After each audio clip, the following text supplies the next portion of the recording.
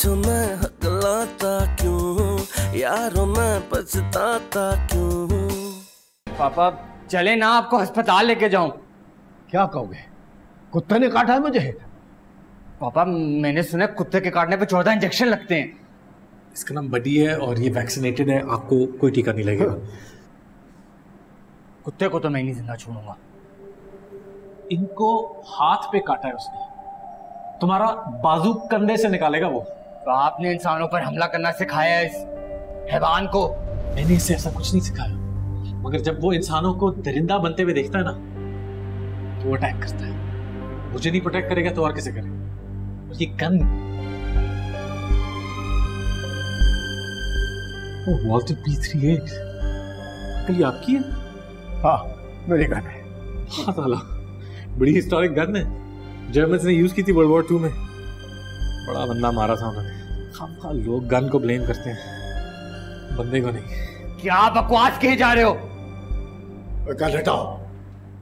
Ramen इतनी पागल नहीं है कि शादी के लिए एक ऐसे इंसान के साथ भागे जिसने सारी ज़िंदगी कुत्ते के साथ गुजारी है। देखो हमें तुम पर यकीन नहीं है कि उसने तुम्हें एक बार फ़ोन किया है। तुम और भी बहुत कुछ जानते हो। दो तो दिन की मोहलत देता हूँ। लड़की बरामद करो।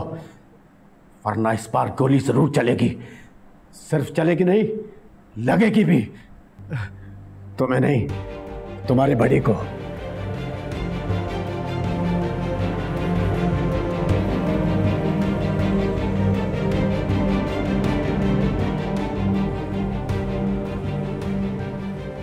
I'm proud of you, buddy. Good job.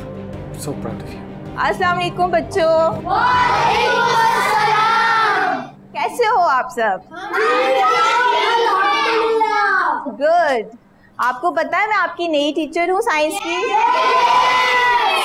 अब हम मिल के साइंस पढ़ेंगे और आप लोगों को भी जो जो क्वेश्चंस होंगे आप लोग मुझसे पूछोगे।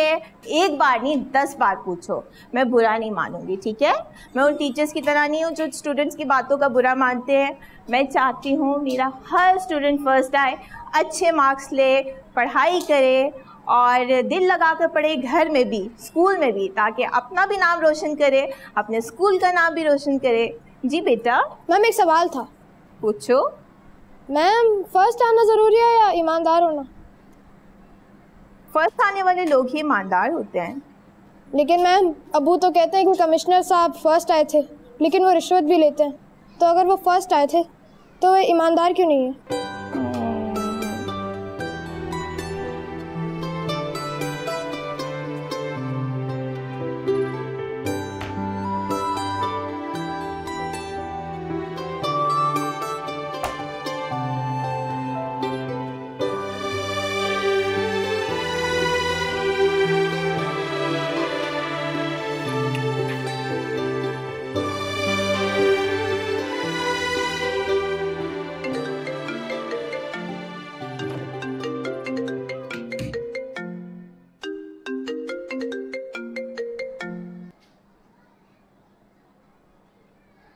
जी अम्मी।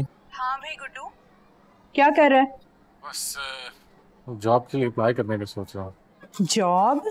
तो वो पहले वाले जॉब का क्या हुआ? हाँ समझ गई मैं। अच्छा तेरे भाई ने तुझे याद किया? है? आज सूरज कहाँ से निकला है? पास आ जा गुड्डू कह रही हूँ तुझे। क्यों याद किया भाई ने?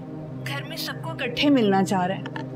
मेरे ख्याल में बेटा वो अंबर की शादी के बारे में ना कोई बामी बातचीत करना चाह रहा है। तो आ जा तू।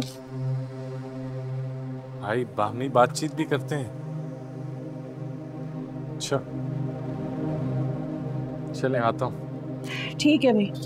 अल्लाह हाफिज।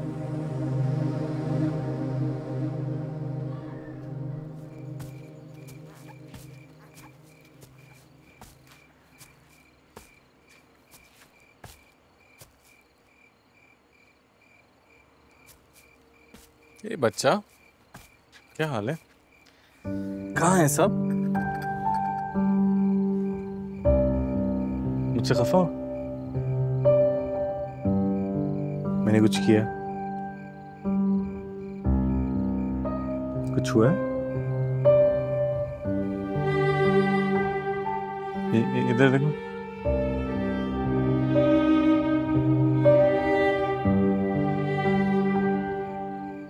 किसने किया तुम्हारी माँ मर गई थी या बाप मर गया था जो तुम स्कूल पराए लोगों को लेकर जा रही हो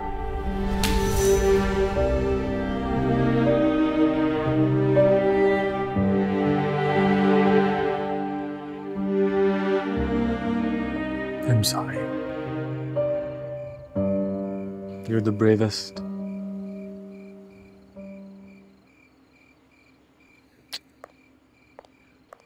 गुलजार तुम्हारा भाई तुम्हारा इंतज़ार कर रहा है। जी।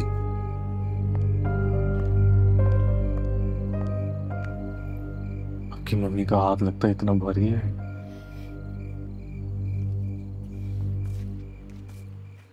भाई इस उम्र में क्या सरप्राइज़ दोगे तुम हमें? परेशान कर दिया है। यहाँ तो बकायदा जिरका लगा हुआ है। हाँ सादत का कोई सरप्राइज़ था हम सबके लिए। कह रहा था सबको मिलके देगा। इस गुस्से वाली शक्ल से सरप्राइज़ देना है तो बेहतर है ना ही दे। आपने कहीं वसीयत तो नहीं लिख दी अबू? बेटा अगर लिखी होती तो मुझे तो मालूम होता ना। गुलजार तुम्हें इन पेपर्स पे साइन करना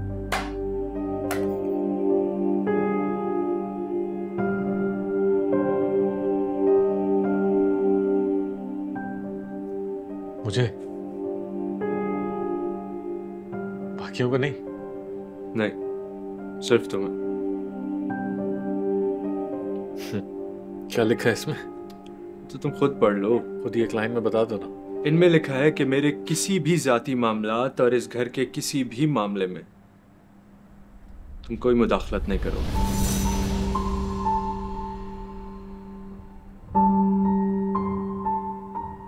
ये क्या है सादत? तुमने तो कहा था कि हम फैमिली के मुतालिक कुछ मुशावरत करने वाले हैं। मुझे भी सादत ने यही कहा था। ये ये क्या हो रहा है? एक एक एक मिनट आप लोग हौसला रखें जरा। मैंने कब मुदाखलत की है? इस घर में तो तुम्हारा ही फैसला चलता है। मैं तो सिर्फ़ अपनी बात करता हूँ। कभी कभी और अब तक तुम सिर्फ़ बात ही कर रहे थे। हम्म? वो जो अंबर की शादी पे तुमने ड्रामा रचाया वो वो क्या था? बेटा हम जानते हैं कि तुमने ये सब अंबर की भलाई के लिए किया। लेकिन जहेज के बारे में तुमने हमें से किसी को एतबार में नहीं लिया। अगर तुम ले लेते तो शायद गुड्डू भी एतराज़ ना करता उस दिन। आप लोगों को पता है रिदा को स्कूल से निकाल दिया गया है। क्या? मगर क्यों? वो तो आप गुलजार से ही पूछे कि स्कूल से निकलते वक्त क्या बकवास करके आया है? गुड्डू बेटा अब क्या कर दिया तुमने? स्कूल वालों को आईना दिखाया था। मेरा ख्याल था पढ़े लिखे लोग हैं इसलाह कर लेंगे उस बाकियों की तरह वो भी आईना देख के नाराज़ हो गए। तुम कौन होते हो किसी को आईना दिखाने वाले? हम्म कभी खुद को देखा है तुमने कि तुम क्या हो? अपनी सीवी देखी है तुमने कि वो क्या कहती है तुम्हारे बारे में? पाँच साल में पच्चीस जॉब से निकाले जा चुके हो। लोग पच्चीस साल में पाँच जॉब्स करते हैं। दो तीन महीने से ज़्यादा किसी जॉब में टिकते नहीं हो। और तुम चले हो स्कूल वालों को आईना दिखाने। लेकिन सादत बेटा इसका ये मतलब तो नहीं है ना कि तुम मुझसे यूँ स्टैम्प पेपर पे साइन करवाओ। क्या हो गया तुम्हें? अम्मी फिर आप सब कुछ इसी के हवाले कर दें। पहली फैमिली की इज़्ज़त का जनाजा निकल चुका है आप उसकी ताबूत पे इससे आखिरी कील भी लगवा लें। करता हूँ मैं साइन। कहाँ करना है? नहीं बेटा तुम रहने दो। रहने दो गुलजार। हम बातचीत करके मसले का हल निकाल लेंगे। ये बुक मैं इस पे साइन करता हूँ। वैसे भी मुझ जैसे लोगों को समझ जाना चाहिए। कि इस माशरे में सच बोलना जुर्म है। घुटने टेक देना पड़ता है यहाँ पर। जमीर मारना पड़ता है। गलत होते हुए देखने के बावजूद चुप रहना पड़ता है। हम जैसे चुप नहीं रहते ना। ये हमारी खामी है। हम जैसों की ज़ुबान लिखत पढ़त से बंद कर देनी चाहिए। डेंजरस होते हैं ना। माशरे के लिए। मैं भी तो डेंजरस था आप लोगों के लिए। अब भी हूँ।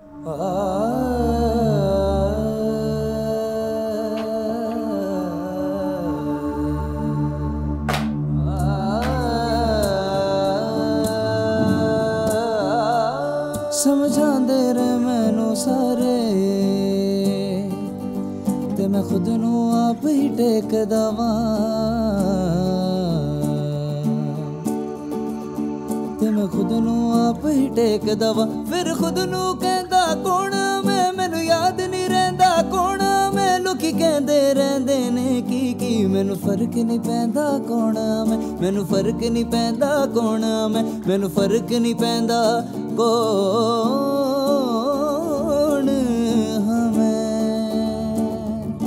सादत तुम मुझे तो बता देते बेटा कि तुम आखिर गुड्डू को क्यों बुला रहे हो या फिर आजकल तुम अपने सारे मशवरे अपनी बीवी के साथ ही कर रहे हो। ऐसी बात नहीं अम्मी।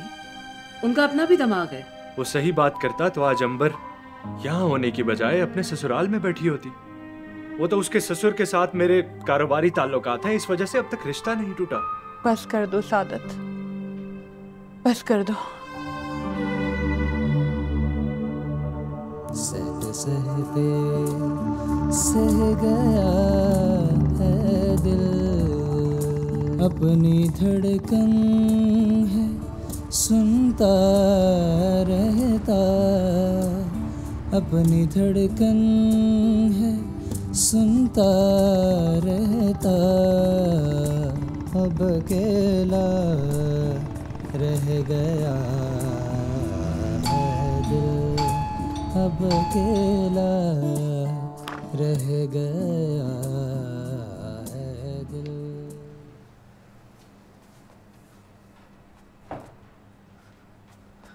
क्या हुआ? मैं तुम्हारे कहने पे तुम्हारे घर की सिचुएशन देखने गई थी।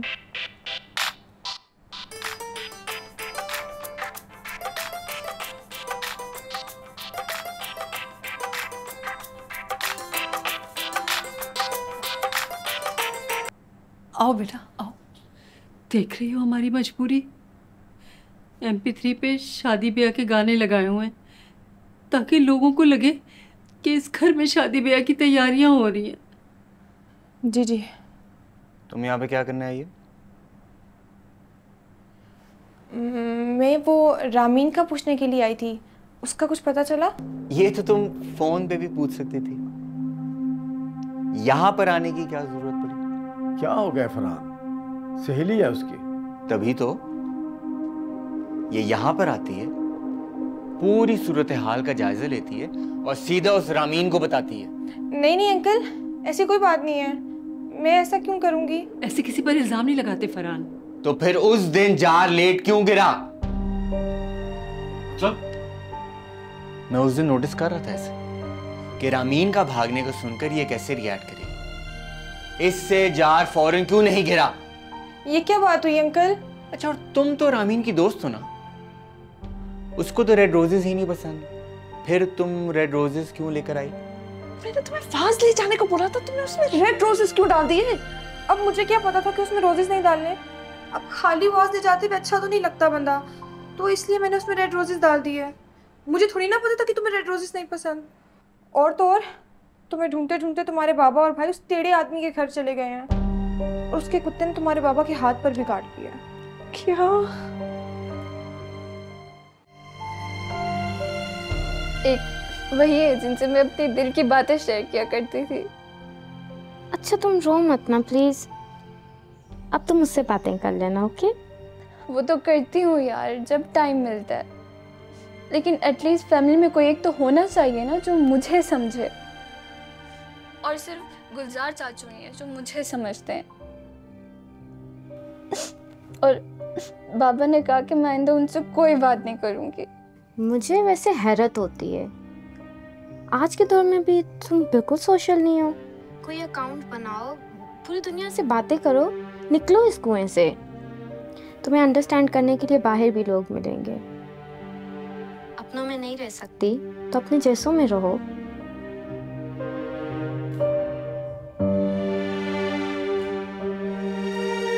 हेलो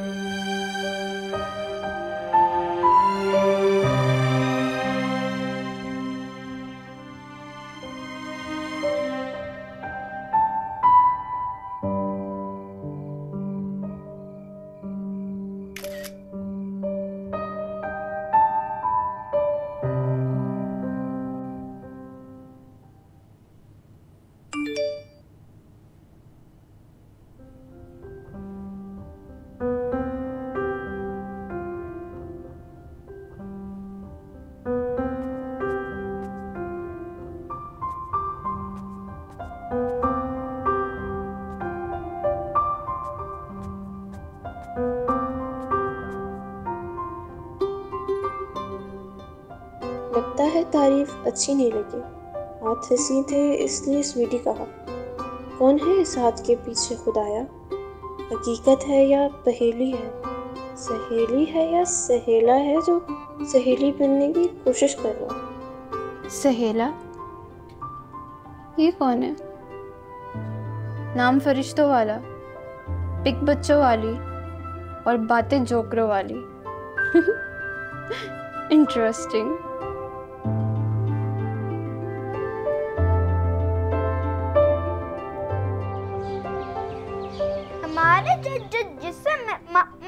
मुख्तलिफ़ चूहे दौड़ते हैं।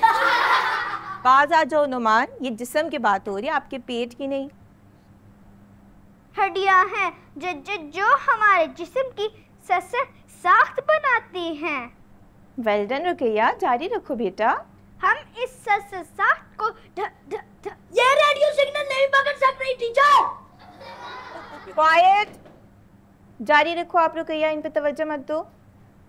ढ- ढांचे की हड्डियाँ हमारे जिस्म को सहारा सहारा देती हैं। एक बात है टीचर बाकियों ने कोई कसर छोड़ दिया गुड्डू? जो आपको कुछ पूछना भी। मेरा तो बस एक सवाल है अगर आप इजाज़त दें तो। आपके सवाल होते तो बहुत लाजवाब हैं लेकिन पूछ सकते हो। मेरा सवाल ये है कि अगर एक बंदा हकलाते हुए अल्लाह बोले और एक बंदा साफ़ ज़ुबान में फ़र्क क्या है? दोनों का मतलब तो एक ही है। बात तो समझने की है, ना कि मज़ाक उड़ाने की। सब उसके अकलाने का मज़ाक क्यों उड़ाते हैं? उसकी ज़ुबान उसका साथ नहीं देती तो उसमें उसका क्या कसूर है? देखिए ना दादी, मेरा बड़ी बेजुबान है। कुछ बोल नहीं सकता। तो क्या बोलने वालों से बुरा है? दादी, मैं समझने के लिए पढ़ना चाहता हूँ, पढ़ने के लिए नहीं पढ़ना चाहता। हाय बच्चे, मैं तेरे लिए बड़ी फिक्रमंद रहती हूँ। पता नहीं ये दुनिया तुझे समझ पाएगी या नहीं? बस दुआ करती हूँ कि तुझे दुनिया ज़्यादा तंग ना करे तकलीफ़ ना दे। वैसे दादी लोग हकलाते क्यों? हम्म ये तो मुझे नहीं पता लेकिन इसका इलाज ज़रूर जानती हूँ सचमुच? सचमुच। अगर तुझे पता लगाना है ना तो मैं कुछ टोटके तुझे बता सकती हूँ लेकिन आपस की बात होगी। आपस की बात ही रहेगी आप बता का आपस की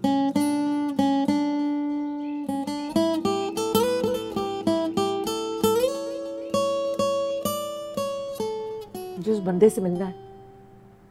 बस कर दो तुम कल से एक ही रट लगाई जा रही हो। तुम्हें अंदाज़ा नहीं है कि वो कितनी मुश्किल में होगा। तुम पापा फरहान को नहीं जानती ना? वो क्या कुछ नहीं कर सकते उसके साथ। तो तुम क्या कर लोगी उसके लिए? पता नहीं। लेकिन उससे बहुत सारी बातें भी तो करनी है मैंने। कौन सी बात है? उसने उस दिन मुझे बताया नहीं कि मैं और मज़ीद क्या कर सकती हूँ खुद को जानने के लिए। वैसे भी यहाँ बैठकर मुझे कौन सा गुल खिलाना है? तुम्हारी ये पिज़्ज़ा बर्गर खा खा के तो मैं मोटी ही हो रही हूँ। बट एक बात है ना तुम्हें उसका एड्रेस पता है ना तुम्हें उसका फ़ोन नंबर पता तो तुम उससे मिलोगी कैसे? यही तो गलती हो गई ना मुझसे। मैंने पहले उसका फ़ोन नंबर अपने फ़ोन से निकालना था और फिर फ़ोन घर पे छोड़ना था ना। ऐसे ही छोड़ दिया मैंने। मुझे तो उसका नाम भी नहीं याद। वैसे सुनो। तुम उसका एड्रेस निकलवा सकती हो। नहीं मैं कैसे कर सकती हूँ ये? अरे पापा और फरहान को तो पता है ना उसका एड्रेस। नहीं नहीं मैं नहीं कर सकती। आगे वो वॉज़ वाली गलती। अगर मैं दोबारा गई तो फिर मुझसे भी गलती हो जाएगी। और तुम्हारे भाई की वो खा जाल वाली नज़रों से मुझे वैसे ही बहुत डर लगता है। सॉरी मैं नहीं कर सकती। कैसी दोस्त हो? अपनी दोस्त के लिए ना जरा भी बहादुरी नहीं दिखाती।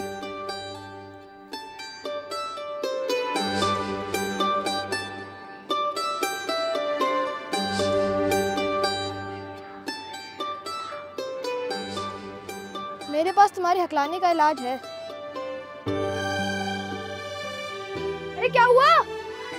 अरे कहाँ जा रही हो? अरे सही में दादी ने बताया था। ओके तो बच्चों आज हमें आप लोग बताओगे कि आप लोग बड़े होके क्या बनना चाहते हो? बैठो बैठो बैठो। हम्म, आप बताओ। मैं बड़े होकर डॉक्टर बनूँगा। शाबाश आप बताओ। मैं बड़े होकर डॉक्टर बनूँगा। Hmm good. आप बताओ। बड़ी होकर करती बहुत अच्छी बात है। रुकैया आप क्यों इतनी खामोश बैठी हो? आप बताओ। मैं साइलेंस। नहीं मैं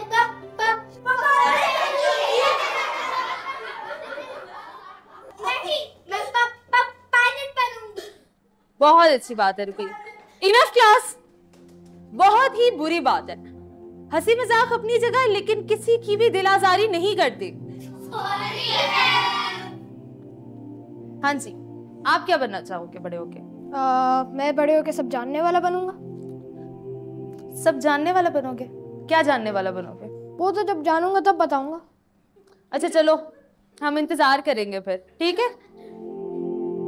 अच्छा हमारा टॉपिक है आज का इखलाकियात अंकल मुझे रामीन पर थोड़ा बहुत शक तो था कि वो किसी को चाहती है मगर वो इतनी सीरियस होगी ये अंदाज़ा नहीं था। बेटा हमें तो कहीं से नहीं लगा कि वो साफ़ को लड़की पता नहीं इस बार हमसे क्या छुपा बैठेगी। कितने शौक से उसने इतने सोने के जेवर बनवाए थे वो भी नहीं लेकर गई। पता नहीं उस लड़की के दिमाग में क्या चल रहा है? अच्छा अंकल? वो जिस बंदे के कुत्ते ने आपका हाथ काटा था क्या आप मुझे उसको एड्रेस दे सकते हैं? क्यों बेटा? वो मैं अपने तौर पर देखूँगी ना। क्या पता रामीन सच में वहाँ हो? मुझे तो अभी तुम पे शक है। फरहान तुम अभी तक उन रेड रोजेस में फंसे हुए हो? कोई गड़बड़ ज़रूर है अम्मी। मुझे तो इस लड़की की आँखें झूठ बोलती हुई नज़र आ रही हैं। तुम तो चुप करो यार। ये जासूसी फ़िल्मों वाले हरबे कहीं और आजमाना। क्यों तंग कर रहे हो बच्ची को? ठीक है बेटा, मैं तुम्हें फॉरवर्ड करूँगा उसका एड्रेस बस कहीं से पता लगाओ उसका। अभी दूल्हा वाले घर को यह मालूम नहीं हुआ कि लड़की भाग गई है। वो बेचारे तो अभी शादी की तैयारियों में लगे हुए हैं। वो जब दूल्हा का फ़ोन आता है ना तो तुम्हारी आंटी ढोलकी वाले गाने की आवाज़ ऊँची कर देती है। और मैं बहाना बना के कहता हूँ कि रामीन अपनी सहेलियों में बैठी हुई है। बात नहीं हो सकती। और इससे भी तसल्ली नहीं होती ना? तो दूल्हा मियाँ मुझसे कहते हैं कि आजकल कौन सी लड़की है जो इतने दिन मायूं बैठती है? अब उपटन का ज़माना तो रहा नहीं। एक दिन पार्लर जाओ, मैनिक्योर, पेडिक्योर करा के आ जाओ और लड़की निखर जाती है। अब मैं भी कितने बहाने बनाए जाऊँ आखिर? बेटा इससे पहले कि हम बेनकाब हो जाएँ, उसका पता चलाओ ढूंढ निकालो उसे कहीं से।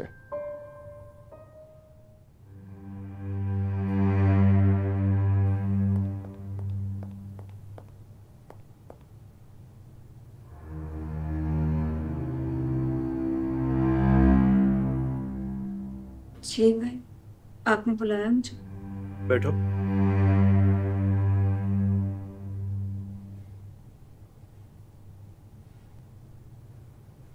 मेरे और तुम्हारे ससुर के दरमियान मामला तय पा गए हैं। और अगले हफ़्ते तुम्हारी रुखसती होगी।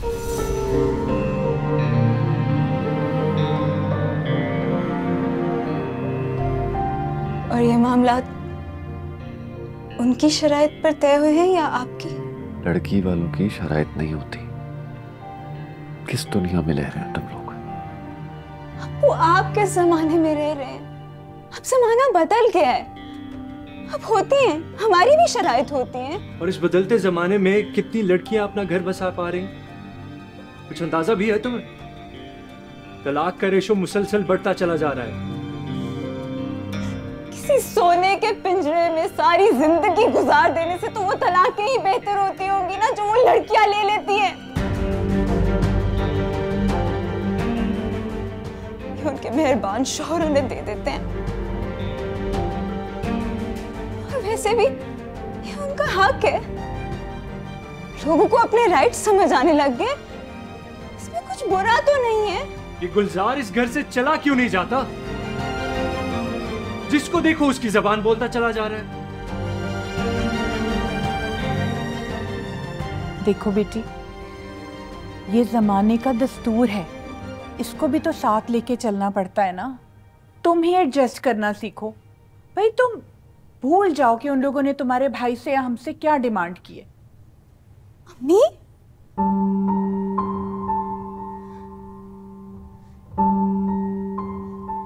जो शख्स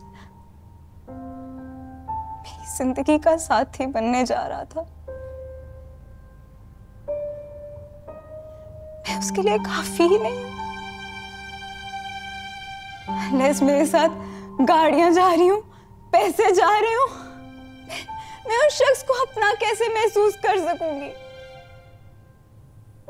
मैं वहाँ अपनायत कैसे महसूस कर सकूँगी?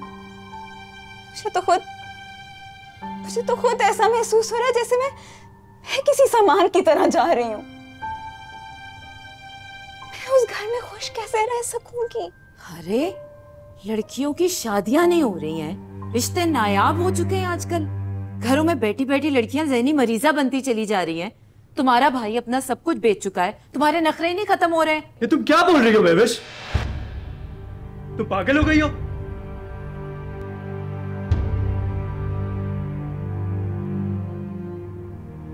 मतलब मैं भी आप लोगों पे उस जहेज से कम बोझ नहीं हूँ। जिसे उतारने के लिए आप लोगों की डिमांड्स भी पूरी कर रहे हैं।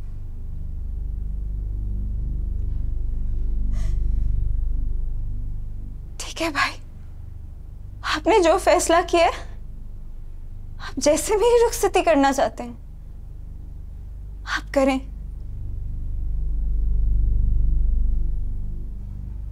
क्योंकि मैं तो अब इस घर में भी नहीं रह सकती ना।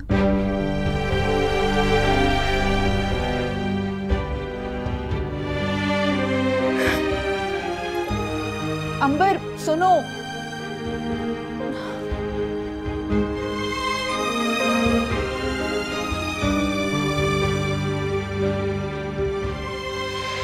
हाँ मेरी चिट्टी गुड जॉब। चलो चल के उससे मिलते हैं।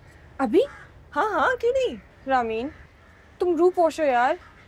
रात के अंधेरे में मेरे घर आई थी। तुम्हें किसी ने देख लिया तो तुम पकड़ी जाओगी। तुम्हारे भाई को तो वैसे भी मुझ पर शक है। एक मिनट। इधर क्या? मैं ना तुम्हारे कपड़े पहन के जाऊँगी। तुम्हारी शर्ट तुम्हारी जीन्स और ये तुम्हारी कैप इससे क्या होगा? अरे सीसीटीवी से भी बच के रहूँगी ना कोई मुझे नहीं पहचान पाएगा। सीरियसली डोंट वरी मगर मैं जल्दी जल्दी में उसका नाम पूछना तो भूल ही गई। खैर है ना एड्रेस मिल गया है। बंदे का नाम भी पता चल जाएगा और बंदा भी मिल जाएगा। चलो तुम भी चेंज करो हाँ? जल्दी चल। ओके Let's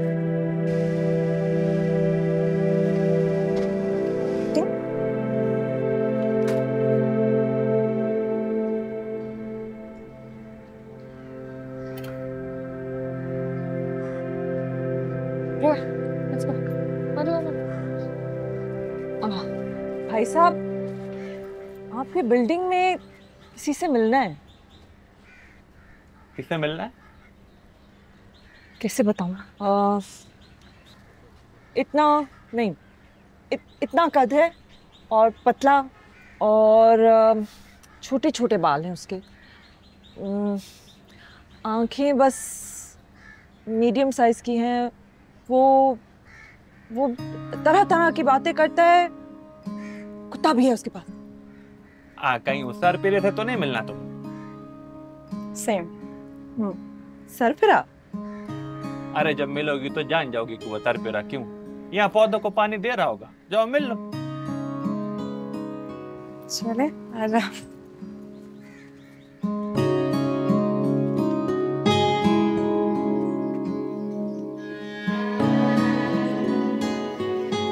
मैंने खुद को जानने के लिए घर छोड़ दिया। अब बताओ आगे क्या करना है?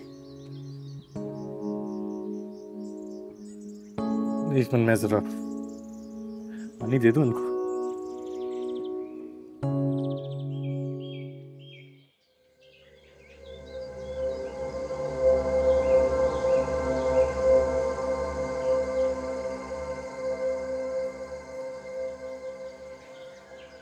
इतना टाइम नहीं है मेरे पास। टाइम नहीं है तुम्हारे पास? टाइम किसी के पास नहीं होता। हाँ हम टाइम के पास होते हैं थोड़े अरसे के लिए। सही से समझाओ ना क्या करना है? मुझे समझ नहीं आ रहा। देखो अगर खुद को जानना है तो वक्त की कैद से बाहर आना पड़ेगा। फिजिकली तो बाहर नहीं आ सकते। मेंटली तुम पे डिपेंड करता है। फिर साइकोलॉजिकली टाइम से कैसे निकलते हैं? हेलो हाँ सॉरी क्या बात कर रहे थे? टाइम से निकलने की टाइम से निकलने की। अच्छा। देखिए टाइम से तो हम हम तो कहीं नहीं जा रहे होते हम वहीं होते हैं। टाइम गुजर रहा होता है। और हर किसी के लिए वक्त फ़र्क होता है यू नो मक्खी का बचपन जवानी बुढ़ापा तीन दिन में गुजर जाता है। हमारा साठ सत्तर साल में दरख्तों का यू नो दो सौ पाँच सौ हज़ार साल में। मक्खियों के लिए हम स्लो हैं हमारे लिए दरख्त स्लो हैं दरख्तों के लिए हम तेज़ हैं हमारे लिए मक्खियाँ तेज़ हैं। Time is time is relative plus खुद के टाइम से निकल दाल बनाने का भी एक टाइम होता है। अरे निकल गया है। मेरी दाल। जल जाएगी। ये क्या चीज़ है? जो भी है चलो उसके पीछे घर नहीं पता। ये मरवाएगा यार। हाँ। तो अच्छा आप समझ गया। जिन जिन जुमलों के शुरू में रे मीम काफ शीन फे और जीम आए उनमें तुम हकलाती हो। और अब प्रैक्टिस करो कि ये सब में ना हकलाओ। और छुट्टी टाइम तक प्रैक्टिस करते रहना तब हम मिलेंगे। ठीक ठीक ठीक है। रे मीम काफ शीन फे जीम जे पे बे।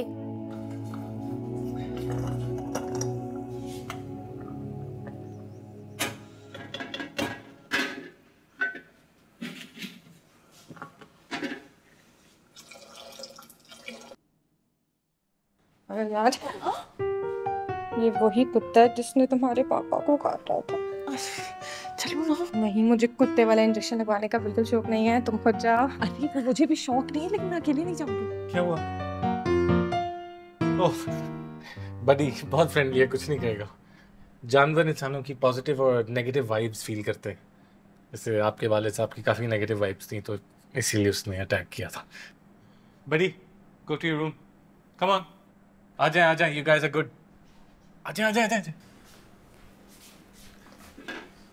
डेकोरेशन हटा दो। ये कुर्सी सोफ़ा सब जाएगा ठीक है? वो कुर्सियाँ सारी वो भी उठा दो। वो साथ वाली रहने देना ठीक है? बाकी सारी उठवा दो। मुझे घंटे में पूरी जगह खाली चाहिए जी ठीक है? वैसे सर बताया नहीं आपने शादी को कैंसिल कर रहे हैं? तुम्हें किसने कह दिया शादी कैंसिल कर रहे हैं? हैं? हम बस डेकोरेशन उतार रहे हैं। तुम अपना काम करो पैसे लो और निकलो यहाँ से। ओए ये लाइट क्यों नहीं उतारी अभी तक?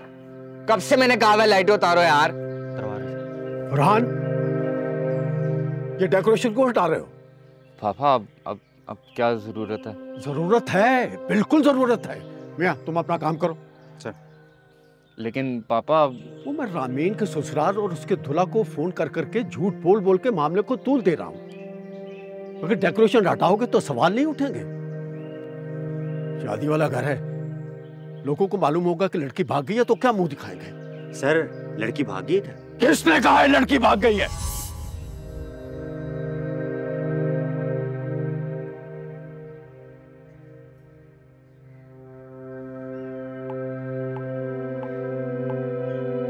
पागल हो गए हो या तुम्हारे कान खराब है?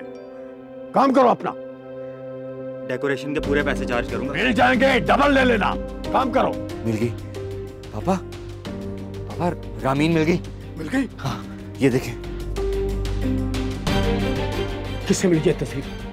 वो वो उस दिन हम वो उस कुत्ते वाले के घर गए थे ना वो गुलजार।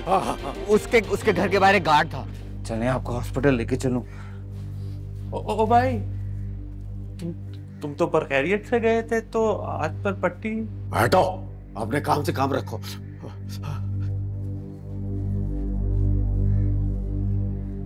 इसको पता होगा ओए हाँ बात सुन। तुमने ये लड़की इस बिल्डिंग में तो नहीं देखी? नहीं। नहीं देखी? अच्छा और वो जो फ्लैट नंबर सी वाला है उसके साथ भी नहीं देखी? फ्लैट नंबर सी वाला कड़ूस इंसान ज़रूर है लेकिन वो लड़कियों के चक्कर में पड़ने वाला तो नहीं लगता। अच्छा तुम मेरा नंबर लिखो और अगर ये लड़की नज़र आए ना तो मुझे बताना ठीक है? क्यों कोई मसला है था तुम नंबर लिखो मेरा मैं तुम्हें इनाम भी दूँगा कि तुमने मुझे बताया कि लड़की कब आ रही है। अच्छा ये अपना नंबर लिखो लिखवा फ़ौरन फ़ोन करो इसे हाँ। और पूछो ये तस्वीर पुरानी है या नई है? नहीं। अभी मिली है रमीन उससे।